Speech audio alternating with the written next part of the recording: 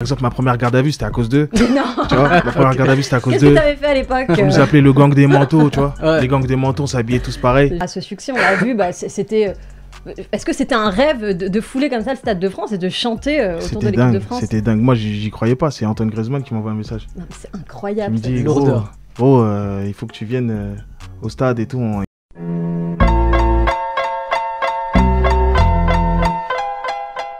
Et l'artiste qui est avec nous aujourd'hui, vous le connaissez tous à travers ses nombreux hits.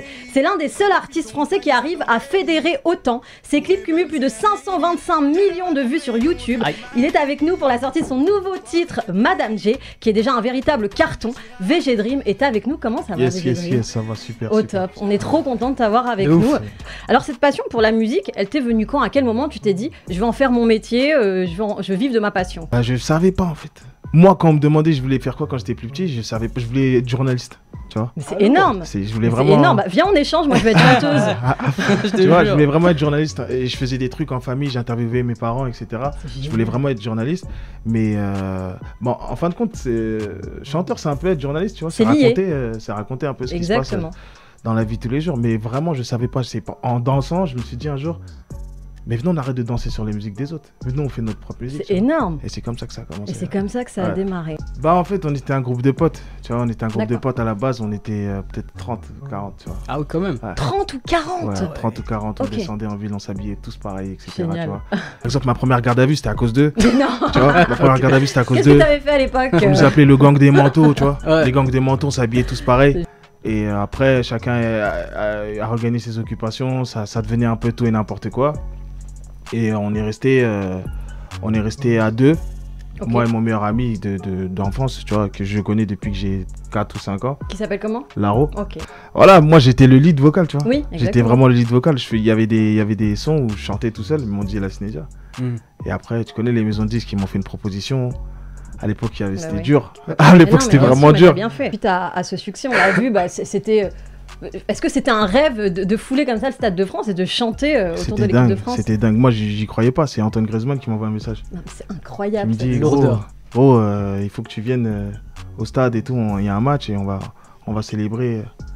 Et moi, j'avais un, j'avais un concert au Canada. J'ai dit à mon producteur, on annule, on annule. On. Mais non, mais c'est j'ai dit, Ah on oui, annule. t'as- Je suis venu, direct. Tu vois. oui, ça se refuse pas. Je suis venu direct et c'était, c'est jusqu'aujourd'hui, j'ai pas vécu meilleur. Tu vois. Euh, le truc le plus romantique que tu aies fait pour une femme, fais-nous rêver s'il te plaît. En fait, c'était pour reconquérir une femme. Ouh là là, qu'est-ce que Euh, bah, je, je lui ai fait un, un truc. Je vais faire un très- enfant. Non, suis très- j'ai mis une lettre sous son plafond et dans cette lettre, je racontais un peu ma vie en mode je suis prêt à faire toutes ces Oh, mais je choses-là. vais nanana. pleurer. Je lui ai donné rendez-vous le lendemain euh, dans un endroit. Il y a un van qui est venu la chercher. Elle est partie à cet endroit-là. C'était notre premier rendez-vous. Là-bas, il y avait une seconde lettre. Seconde lettre, euh, ça lui a envoyé un troisième un endroit, film. quatrième endroit, cinquième endroit. Ah, tu voulais vraiment la récupérer hein cinquième C'était endroit, j'étais là. pas. tu vois. Cinquième endroit, j'étais là, tu vois. Mais c'est magnifique. Ah Et ouais voilà. Et, et après, quand tu étais là, qu'est-ce qui s'est passé? T'as posé ton genou au sol ou Non, Non. pas, Tu pas lui as offert une voiture? Non, il fallait, il fallait que je prouve quand même, tu vois. Faut- fallait prouver. génial. Et puis voilà quoi. Et donc, est-ce que tu as réussi du coup euh, Moi, j'ai réussi, j'ai réussi. Ok, première phrase. Est-ce que tu as dit les gens ils pensent que quand t'as de l'argent, t'as pas de problème, mais c'est quand t'as de l'argent que t'as le plus de problèmes? Je pense que j'ai dit Ah. ça, je crois. Ah, tu, tu, tu penses te souvenir à quel moment, à quelle occasion t'aurais pu dire un truc comme ça ou pas? Pense que j'ai dit ça. Je sais, je sais plus. Mais c'est un truc que tu ouais, j'aurais que... pu dire. Alors, en tout cas, dit tu l'as dit, c'était Ouais. l'interview Aloha News euh, 19 Ok. juillet 2019. Et Ok. t'avais sorti cette phrase que. Du coup, elle était assez intrigante. Donc, je voudrais savoir est-ce que tu, c'est ce que tu penses vraiment que Vraiment quand t'as de l'argent, tu as beaucoup plus de problèmes C'est que- les gens qui ont plus d'argent qui ont des problèmes. en On a vérité. quoi comme genre de problème? Moi, j'aimerais bien avoir de l'oseille, avoir des, des problèmes de blindés pour T'as m'acheter des- un Vuitton derrière quand je suis pas bien. T'as des vrais problèmes en fait. Ah ouais vu, tu, tu payes plus les impôts de la même manière en Ah, fait. mais, ah oui, ça par Et c'est super important de, de, de- d'être bien entouré en, en vérité, tu ça vois. crée des conflits aussi. Ça crée des conflits, Dire, tu vois, ça crée- entourage, Ça ça, crée des conflits. Tu sais, on se dit, ouais, non, Mm. vas-y, euh, on arrive dans un truc, par exemple, on va partir en vacances, Ouais. tous ensemble Ah et tout. ouais. Ah oui, ça c'est T'es en mode- ouais. Eh, vas-y, t'as combien sur. ta- Ouais, vas-y, ça, en fait. Vas-y, invite, frérot, tu vois. Or que ça fait plaisir quand tout le monde met la main à la poche. C'est quand la dernière fois que tu as dit je t'aime? C'était peut-être il y a, il y a 6 mois, 7 mois. Il y a 6 mois, 7 mois Ouais, Alors ça. qui a eu la chance de recevoir ton je t'aime C'est aussi rare. C'est c'est Madame J. Je Ouais. valide. je- La chanson un petit peu honteuse que tu écoutes tout seul quand tu es triste, tu sais. C'est euh, Petite Marie. Elle est magnifique. Elle est magnifique, hein. Elle est Ah bien là là, elle est sublime. magnifique, hein. Très bonne référence. Euh, les artistes qui étaient en poster sur le mur de ta chambre quand tu étais jeune. Matt Pokora.